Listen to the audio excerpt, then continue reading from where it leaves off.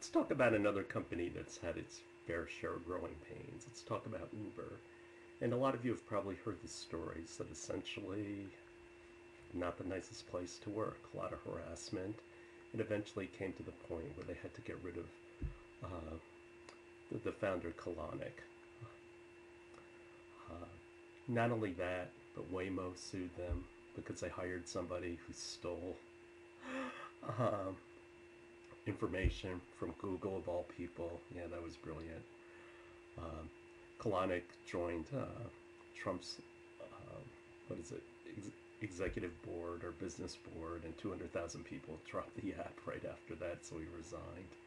And not only that, but to top it all off, they knew that government regulators were riding on Uber to see what they were about and see if there was any violations. And so they found out who these people were, installed software to basically dump them off the app. so the government couldn't see what was going on. Uh, quite clearly, this also goes into the whole inner wisdom thing and everything else. Yeah. The interesting thing about Uber is they've raised like $24 billion. And yet, where has most of the money been that they've been raising recently? And where they've been raising their money is actually in debt.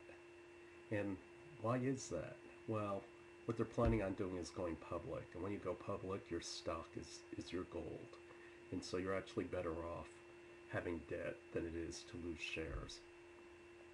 And so, what other things have they done? Well, they pissed off their drivers by focusing on autonomous vehicles. They've spread themselves way too thin, trying to cover everything on earth as Uber. Uh, they couldn't cut it in China and Russia and had to sell out, as it turns out those those might not have been the best acquisitions because they're losing uh, money. They got a guy from Expedia to take his place. They think Uber is worth 120 billion dollars. We'll see. Uh, but they're not profitable. The thing is, Amazon and Facebook, by year five, they were cash flow positive. Uber is nine years old and they still aren't cash flow positive. And so uh, they thought they could go public this year, but as it turns out, with all the turmoil of debt and everything else, uh, Apple has lost 30% of its valuation. So now all of a sudden they're saying, well, you know, something, if we don't go public, we'll be fine. And so, you know, how much more they, can they continue uh, to uh, borrow? Now, in terms of scaling, we talked about the three pillars. So the first one is product. And so, what are the tools that'll help us be able to scale up and get bigger? Can we bring aboard the people that we need, whether there's skills and teamwork, and also are the can we put the processes in place where we'll get the coordination to work effectively? When we look at different products, especially with regards to technology, I can categorize them into six different uh, types of technology. And so right now I'm just going to go over in broad strokes since so much of it is industry and company dependent. But in general, what are the things you look for in each of these uh, types of industries? So in terms of mechanical, materials is a big issue. Can you use cheap enough materials? Tools can be very expensive. These are the machines that actually build things. A lot of times, these tools are custom. Custom tools are very expensive to make because they're one of a kind. This goes all the way back to economies of scale meaning if you were buying a lot of them, then yeah, the tool costs would go down. But when you're only buying a couple to test it out, because you're not going to do a whole production run on something untested, uh, it can be very expensive. And I used to design capital tools. Uh, labor, am I better off going with robots or am I better going off with people? And economies of scale, where am I going to break even? And so the entire chain from design all the way to packaging. These are the steps if I'm making something mechanical that I have to deal with, understand the cost, throughputs, and everything else. Uh, how am I going to do my customer support? Am I just going to have people go to chatbots, or are we going to actually talk to people? Marketing. In the early going, you are demo driven. Guess what? These are tools that you can actually sell, but you can't sell them because you need them for marketing. And you will run into customers saying, How much would it cost me to buy that right now? And guess what? uh, you can't. Uh, production, your volume sets your level of capability and how you're going to expand. And then you get into that whole fight over excess capacity or how much inventory do, do I build up or if I'm under, then I'm going to be losing money. And I lose money either way. Are there regulatory issues I have to deal with, such as ISO, which is International Standards Organization, which is quality? Uh, I've been through an ISO development. Let me tell you, it is no fun. I mean, we had to write procedures for like putting on booties before going to gowning areas. That's the level of detail that they want. And then finally, make versus buy, uh, my secret sauce. In terms of devices and components, this is a big concept to understand. When I'm selling somebody a component, like I'm selling a graphics processor to uh, Dell, who's actually, now Dell is paying me money for it, but in reality, the customer is my customer's customer. Dell isn't really my customer. It's the person buying the Dell computer where the cash actually goes to. And so, how do you maintain your value uh, when you're just a component uh, that's uh, removed away from the paying customer? When you make devices and components, you need a lot of samples. A lot of times startups, you're doing 1Z, 2Z. You don't have those samples, so you don't have the credibility. Uh, making devices and components is about automation and tools. Uh, you make make versus buy decisions. What is it that is your secret sauce that you need to protect? Uh, not only that, but if it's not a specialized uh, function, then why are you reinventing the wheel? Uh, uh, you can expand capability by just outsourcing it. An example is when I was working on a closed loop control pump, I decided that, look, things like security, wireless security, is nothing special. We're just going to buy canned software.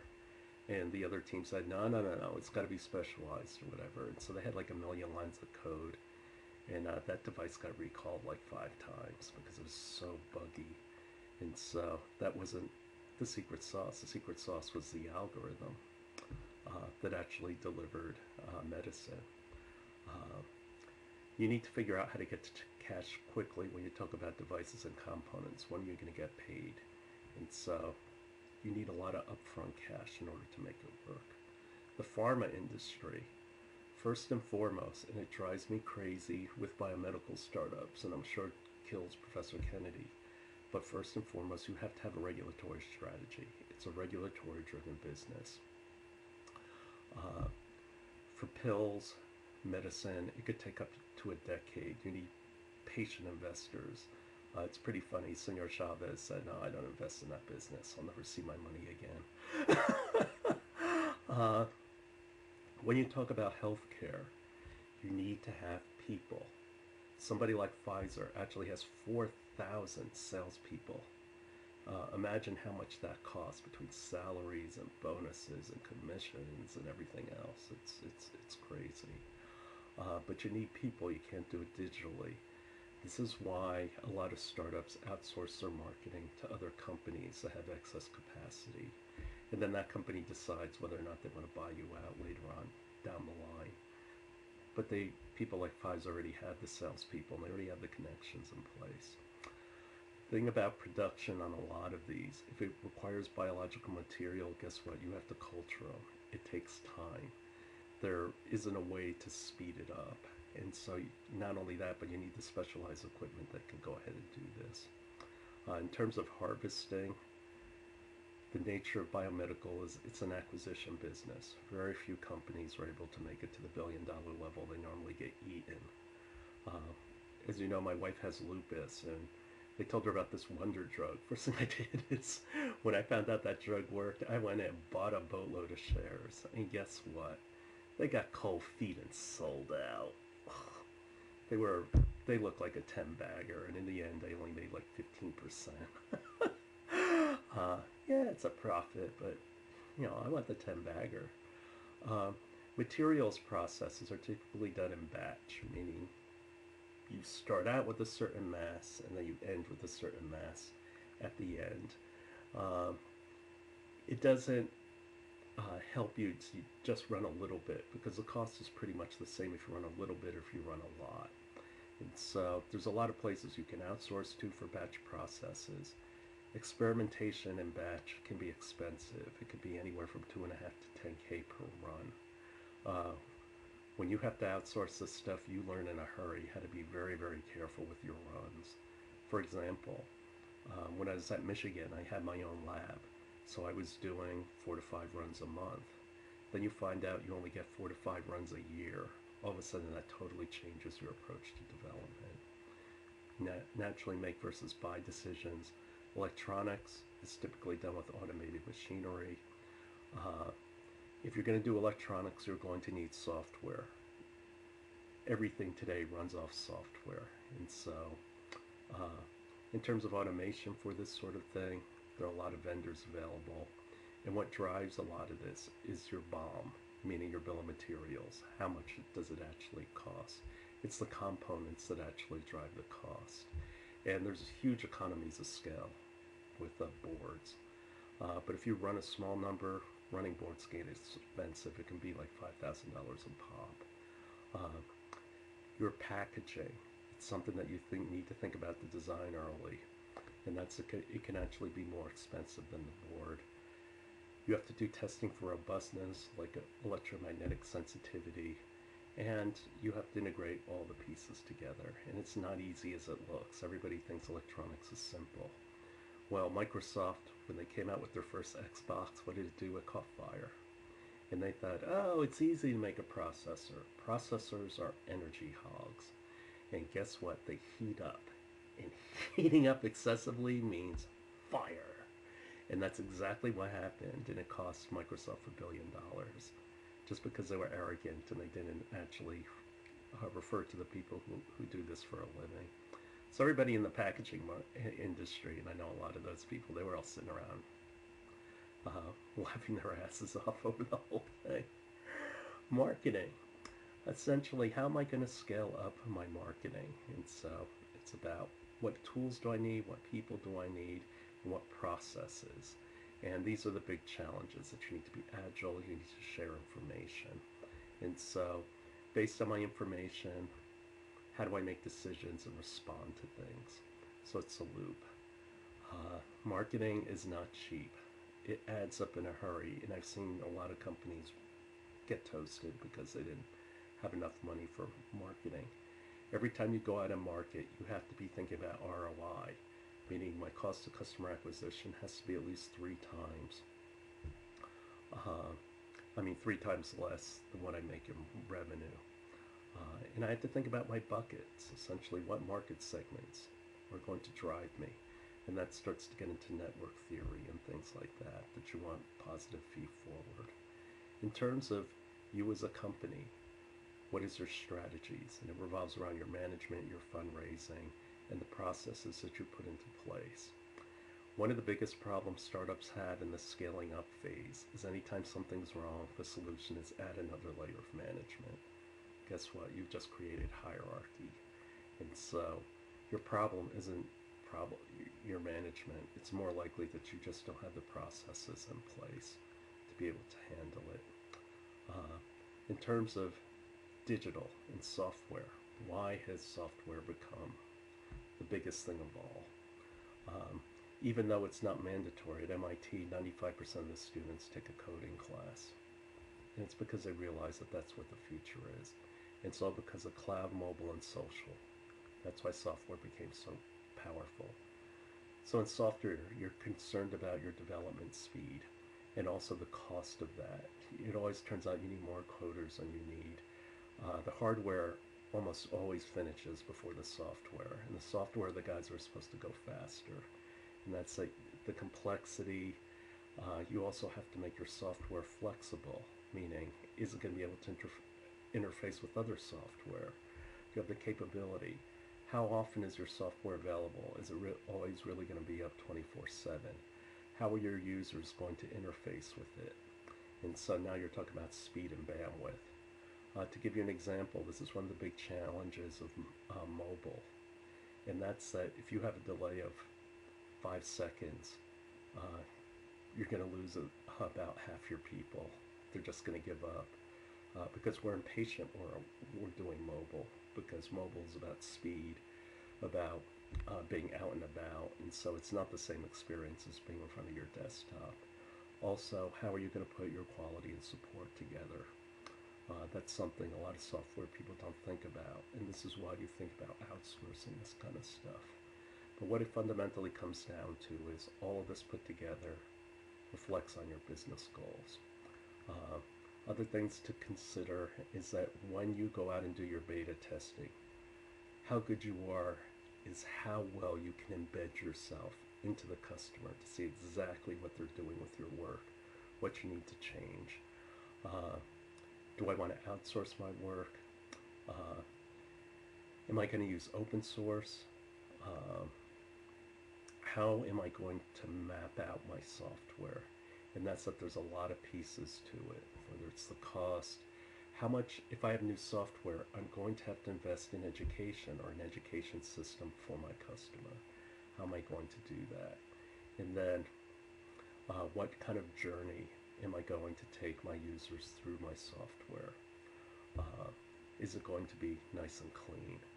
Now, you can credit your uh, fellow classmate George about this. I, I, was aware of this and I hadn't really looked at it. And uh, he actually posted on Canvas a really good article that you should read more about. But it's about blitz scaling. And that's the phenomenon right now in digital products. And that's that they believe that you need hyper growth. These are the Ubers and people like that who are billions and billions of dollars in debt, and yet people think it's okay. Snapchat hasn't made a profit. It's okay. Uh, and what it comes down to is you have to tr- grab the high ground before somebody else is. You don't have the luxury of growing slow. And so they believe through network theory, whoever reaches scale first is the one who can dominate the market. And so you're emphasizing speed over efficiency. The merit to this idea uh, and what's driven it is that there's a lot of cheap cash out there. And, know, has this been really a good thing? And the argument for blitz scaling is that other companies like Amazon and Facebook had to depend on this. And so when blitz scaling actually makes sense and work is first you need a humongous market, you know, the kind that you can make a $100 billion at. Uh, do you have sustainable advantage? Uh, if I can reach scale before someone else, then I own the market. Uh, can I bootstrap? Essentially, can I tap on to other things or take advantage of other things? And so software and P2P distribution is easy to do uh, with this.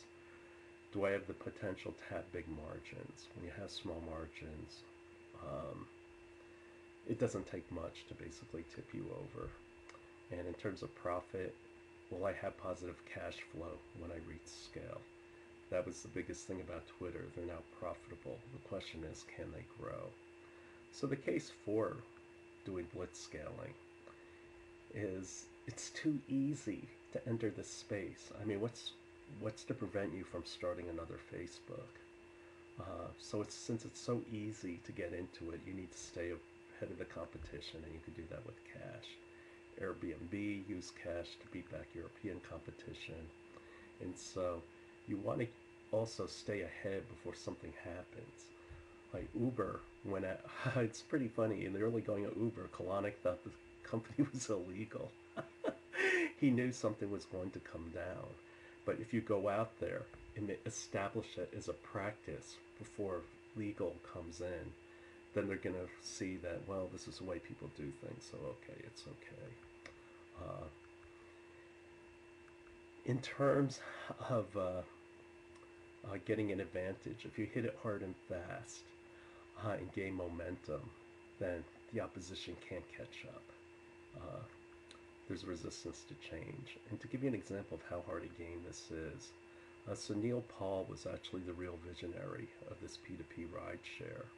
And he was working on it in 2000, but he couldn't get it to work because there were no smartphones. But he tread water, kept using, uh, and also had GPS problems, which is actually a very big part of uh, uh, these rideshare services. And so in 2012, he started Sidecar. Uh, he raised 35 and a half million. Logan Green, the founder of Lyft, who was inspired by Paul, uh, he believed also in the P2P economy and he raised $2 billion. And then you know about Kalanick and what was he driven by? Greed. that this is a great opportunity to make money. But in 2015, he had raised $7.3 billion. And this is part of the reason uh, why Uber ended up winning. And also, they used a lot of questionable practices. Uh, is blitzscaling really necessary? Well, there's some things that didn't get quite right, and that the Amazon didn't use all that humongous VC money. Uh, what they did is they borrowed the money, and this is part of the. And when you borrow money, you don't uh, dilute the company, and this is why Bezos is the richest man in the world now. Uh, that's the way you do it, and so. Uh, but Amazon the one thing that even when they weren't making money, the thing that was always attractive about them is the short time to cash. And so because they had a lot of cash around, investors like that. Facebook, they raised 2.3 billion before the IPO, and they were already profitable. Uh, the reason why they got all that extra cash is they wanted to hedge against risk. That if something went wrong and there was a rating day, they'd have the cash reserves in place. Uh, Google, had raised 36 million before their IPO, and they also were also profitable. So they didn't need to do the blitz scaling thing. The thing that's scary about all of this um, blitz scaling and everything is, as you could see, 85% of the IPOs are companies losing money. I mean, is this healthy? And the worst part of all is this is real money. This is real investor dollars. And where are they all going? They're not going to the companies that can actually use it. And that's why it's so negative. And this is the valley. One thing about Silicon Valley is it's the trendiest place on earth. When somebody's doing something, they're all lemmings to the sea. This is why I'm in business school, and this was all the way back in the dot-com boom, back in uh, 2000, we said, we need to write a book. We're going to call it Silicon Valley Has No Strategy. uh, and right now, uh, before Silicon Valley, they were happy if they got a 10 bagger, meaning 10 times their investment. But now they have so many losers, they need more than a 10 bagger. They need like a 100 bagger. But your odds of hitting a unicorn are 0.07%. Not great. Uh, and so it's not enough to be successful. You have to win huge in order to make it worthwhile. And the problem is, is sometimes this becomes a Ponzi scheme. And the only value of a stock is what somebody's willing to pay you for it because they're not turning a profit. Uh, and then you think, is this all there is? No, just greed, just meant money. Uh, well, MailChimp. And actually, I talked about MailChimp in my digital marketing class. Uh, they're an email service. And they've been profitable with $490 million from the first day from 12 million customers. How much money have they raised? well-run company. Atlassian does project management software. They bootstrapped. They uh, tied into other sources. They lived off the land. Uh, and it wasn't until eight years later that they raised money, and that's mostly because they just wanted to scale faster. Uh, in a lot of Professor Chavez's classes, he talks about why you go into debt. So they did it the right time. Shutterstock, that you're all probably pretty familiar with, uh, they didn't take VC money until they became profitable, again, for growth. Uh, there are companies there that value people more. Basecamp, which is, again, project management software, they turn away work because they want to stay at a small 50 person company. Uh, RX Bar, which is a health food bar, they were self funded. Uh, they've gotten up to 130 million in revenue and they sold to uh, Kellogg. Uh, the funniest thing is when these guys were getting started, they're like, oh, what VCs should we talk to? How should we raise money?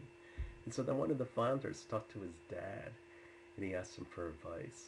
And what was his advice to his son about raising money? You guys need to shut the fuck up and sell a thousand bars. He's like, wait, what's this all about raising money? Just go sell some stuff. Sage Father. uh, there are companies that also are looking at a new way of investing instead of this whole negative earnings per share. What they do is they create convertible loans, meaning it could turn into stock or they could get paid back. And what they do is they're going after companies and basically giving the loans out against their uh, profitability.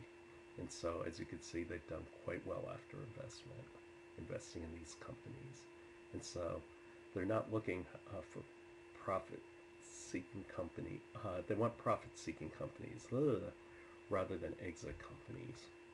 Uh, so there is a big change to it, and this is called permissionless entrepreneurship. Now, one thing to think about, and this is what a lot of these businesses take for granted, with a platform or a network, the value comes from the users, not the platform itself. And when that ceases to happen, then a platform has no value. People forget they're the actual power in a platform. And so Bill Gates talked about that. Uh, Google. Google now, every time you click on something, it takes you to, you know, Google Translator or something like that. Before Google had software partners, this actually made for a more healthy internet. Now, what does Google drive you to? What Google does. They're creating monopoly. Is this really good for the internet? Let's see.